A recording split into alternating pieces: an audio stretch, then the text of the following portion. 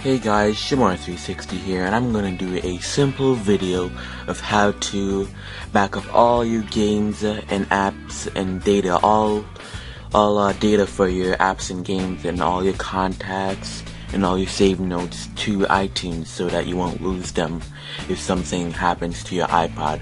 So first of all, what you want to go ahead and do is make sure you have iTunes opened up. So I'm gonna go ahead and do that right now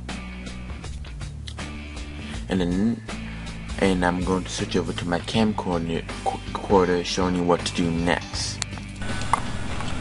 And guys, next thing you want to go ahead and do is make sure that your device, iPod, iPhone, iPad is connected to your computer and you have uh, iTunes opened up and I'm gonna go ahead and switch over back to my screen recorder right now. So guys, I'm back, and all you want to do is just make sure you have iTunes open up and your device is connected. So once you've done that, I want you to look all the way over to the left. Uh, you're gonna see your library, your, uh, the store, devices, Genius, play, playlist, and I want you to go to devices. You will see your iPod Touch, iPhone, or iPad listed right there.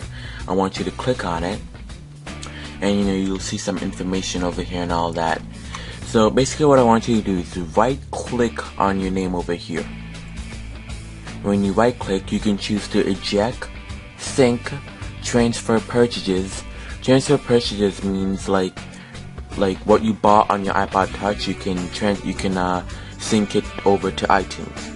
Uh, you can back it up you can restore from backup or reset warnings. I want you to go ahead and click backup and it will say uh, over here syncing Siobhan's iPod backing up and, you know you, wait the, you wait a couple of minutes. Only take like a minute. As you can see to backing it up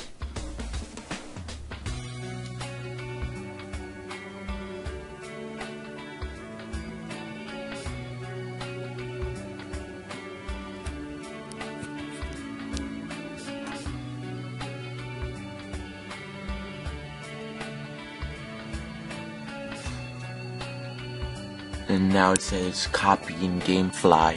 What that means it's it's uh it's copying what you downloaded onto your iPod Touch. So like I said before, transfer purchases from Siobhan's iPod to iTunes.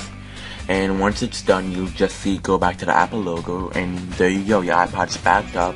All your contacts are saved. All your games and all your uh, saved games data and all that. So thanks for watching. Hit the subscribe button up top.